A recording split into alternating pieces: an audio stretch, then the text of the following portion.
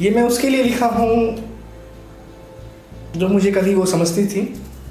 आज वो समझ रही है या नहीं रही पता नहीं। लेकिन वो चुप बैठी है कहीं। तो मैं भी चुप सा हो गया हूँ। हर दिन की तरह, हर दिन की तरह आज भी मैं उसी तरह उसका इंतज़ार करता हूँ। शायद वो फिर लौट जाए, शायद वो फिर लौट जाए, इसी उम्मीद से किसी किनारे में बैठा हूँ। कुछ बातें थी उसमें, कुछ बातें थी उसमें जो मुझे उससे अलग नहीं होने देती थी। कभी खिलखिलाती तो कभी मुस्कुराती थी। और मेरे बातों से कभी इतराती थी।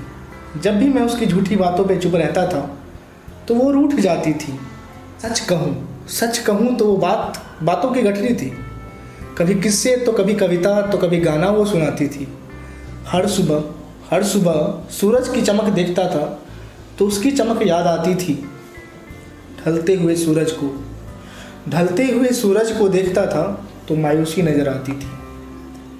अब ऐसा लगता था, अब ऐसा लगता था, मेरे लिए वो बंद कर चुकी थी दिल के दरवाजे, लेकिन मैं भी कहाँ मानने वाला था? मैं भी तो खड़ा था उसके दिल के दरवाजे। धन्यवाद।